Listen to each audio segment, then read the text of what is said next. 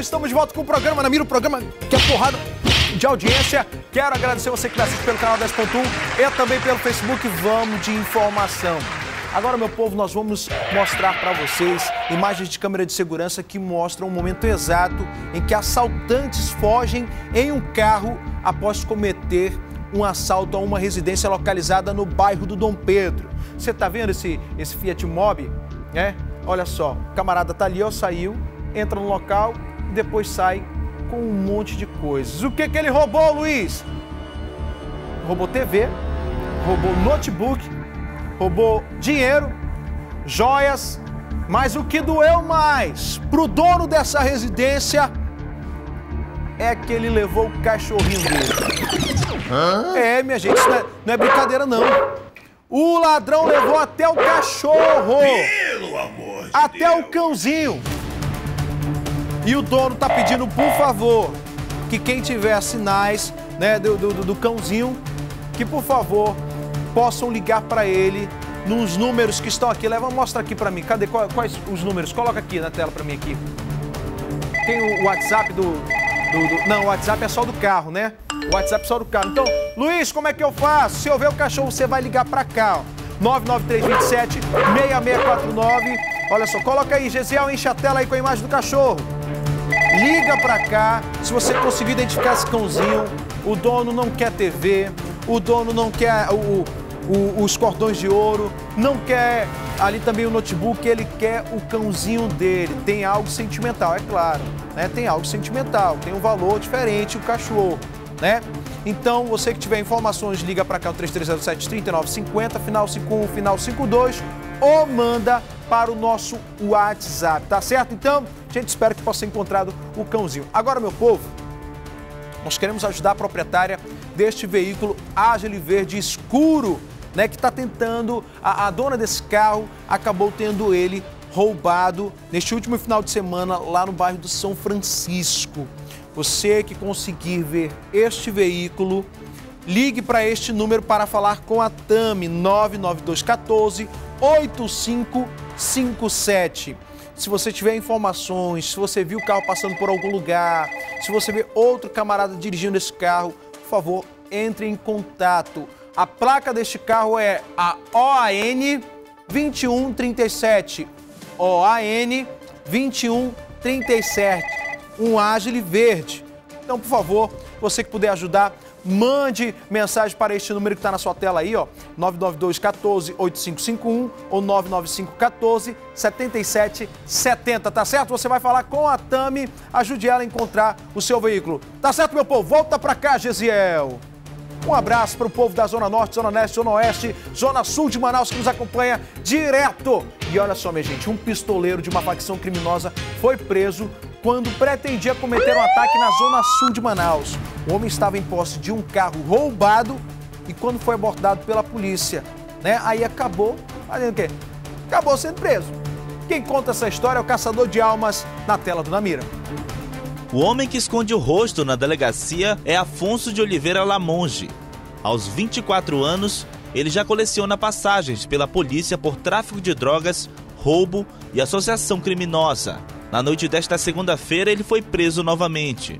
Os PMs faziam patrulhamento na rua General Glicério, na Praça 14, quando perceberam o condutor deste veículo em atitude suspeita. Ao abordá-lo, eles encontraram dentro do carro um revólver calibre 38 e, ao consultar a placa do carro, descobriram que se tratava de um veículo roubado. O carro foi tomado de assalto há um mês por uma dupla de criminosos na Avenida Professor Newton Lins, no Parque das Laranjeiras, zona centro-sul de Manaus. O bandido, preso nessa noite, não foi reconhecido pela vítima. Ele entrou duas pessoas já no fim do expediente e eh, chegaram já abordando, apontando a arma, recolhendo os celulares dos funcionários, o meu e a chave do carro, o notebook, levaram tudo. Segundo a polícia, Afonso pretendia cometer um homicídio quando foi abordado pela polícia na região sul de Manaus. Ele informou que essa arma seria usada no ataque a outra facção criminosa naquela zona da cidade, que ele est- estaria aguardando outros membros da sua facção para realizar esse ataque a outra facção rival. O suspeito foi autuado por receptação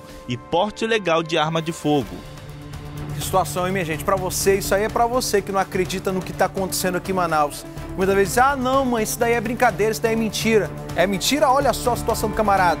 Armado até os dentes para matar um adversário de outra facção criminosa. Que situação, meu povo. E olha só, um mototaxista foi assassinado no município do Careiro Castanho. O corpo dele estava jogado no meio da rodovia. Quem traz os detalhes é a Mariana Rocha na tela do Namira. Exatamente. Esse assassinato aconteceu no quilômetro 115 da rodovia BR-319, que liga Manaus ao município do Careiro Castanho, no interior do estado do Amazonas. Segundo informações de testemunhas, o mototaxista Jefferson Barbosa Lima, de 33 anos de idade, foi assassinado com vários tiros. A família não soube informar o motivo do crime, diz desconhecer o motivo desse crime, mas acredita que um passageiro do mototaxista possa ter assassinado ele, isso apenas para não pagar a corrida, acreditem. Mas essa versão ainda é investigada pela polícia lá do Careiro Castanho. Pela manhã, o IML foi acionado para remover o corpo do local. O corpo do mototaxista Jefferson Lima, de 33 anos, passa por exames de necrópsia. A polícia ainda investiga o caso. Eu volto com você aí no estúdio. Situação, gente, menos de, de duas semanas é o segundo mototaxista que é encontrado morto em rodovia. É, minha gente, é triste essa situação. Agora, o que, é que nós temos, meu diretor? Diga lá. Drogas apreendidas, notícia inter... interessante, é claro, né? Aqui no programa na Mira, coloca aí na tela, por favor.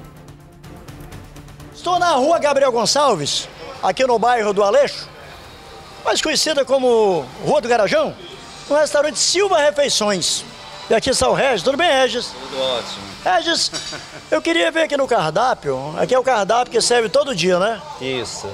Eu queria ver se tem é, bife com fone de ouvido. Bife com frango, como é? Com fone de ouvido? Não tem não? Não, jamais. Não vende não? Não, onde é que existe isso? Regis, eu tô falando isso porque é o seguinte, recentemente, hum, lá em Cuiabá, certo. Nossa, ainda bem que não foi aqui no Amazonas, né? Uma bendita de uma mulher endiabrada, sei lá, ela tava com o cão no couro. Tentou entrar ah. com uma quentinha e dentro da quentinha tinha bife. Só que dentro do bife, fone ela levava ouvido. nove fones de ouvido para entrar na cadeia. Já pensou? Nossa senhora, isso se, agora pensou se vira moda, hein? Foi presa, aí o seguinte... Começar a vender bife com fone de ouvido. Sai daí. Aí o seguinte, quando ela foi presa, uma ah. outra, a mulher de um detente disse, não, não era dela não, eu que pedi para ela entrar e levar pro meu marido. Olha, presepada. Uhum. Mas não é só isso não, presta atenção.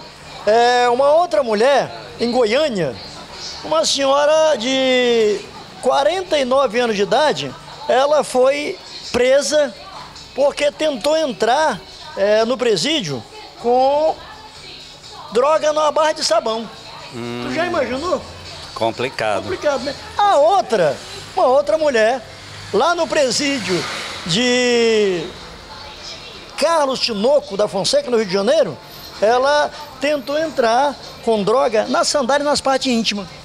É, isso aí já é mais comum, né? Já é mais comum, né? Se a senhora leva gilete na parte íntima. Ah, aí é complicado. Agora, gente, aqui em Manaus, aqui em Manaus também, para não ficar de fora, uma jovem, com cabelão aqui na bunda, é bunda ou é nádegas?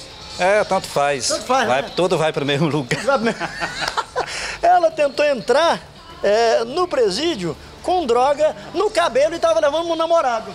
Já pensou, por exemplo? Tava levando quem? A droga no cabelo ah, pro namorado. Ah, entendi. Né? Complicado também. Mas olha, gente. É vem aqui, vem aqui. Eu vou mostrar aqui. Vem cá, Regis. Mostrar aqui, olha. Que é aqui. Aqui é o Silva Refeições, olha só. Aqui são as compotas e comportas. Compotas. Compotas, olha aqui, olha. É. Aqui é servido aqui a comida, né? Como é o seu nome? Cleide. Cleide, a Cleide é a cozinheira. Qual é o cardápio de hoje, Cleide?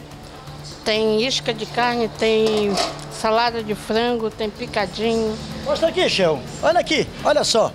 Que delícia, rapaz, isso aqui. Olha, meu Deus do céu, colega. Eu tô quase não resistindo, não, mano. Pera aí que eu não... Pera aí, segura, já. Nós estamos falando né, nessa situação. Mas aqui, ó, em nenhum restaurante de Manaus ou do Brasil vende refeição com chave, vende refeição com droga, vende refeição com fone de ouvido. Foi só essa presepeira lá de Cuiabá mesmo. As imagens são de chefe, reportagem de Vanderlei Modesto. Não vai assim? Tá me roubando? O homem do sapato azul. Agradecendo o Regis, que é o chefe. Regis, pode convidar o pessoal para vir para cá. Com certeza. Apareça aqui, Rua Gabriel Gonçalves, 43, bem em frente à CEMIF. Nosso cardápio variado e não há repetição. Todo dia é bem diferente. Abraço. Vem almoçar aqui, Luiz, né? Isso, com Vamos certeza. Portas dois, abertas. Portas abertas, né? Isso. Vamos fazer o pei nós dois? Já? Ei, Luiz! Pei! Faz o pei. pei. que situação, meu povo. Olha só. Agora, olha só, deixa eu dizer uma coisa para você. Antes de encerrar o programa, eu tenho que mostrar para você que você precisa participar da campanha hashtag Manaus do Meu Futuro. Tá todo mundo enviando o vídeo e tem mais uma pessoa que veio para cá. Coloca na tela aí.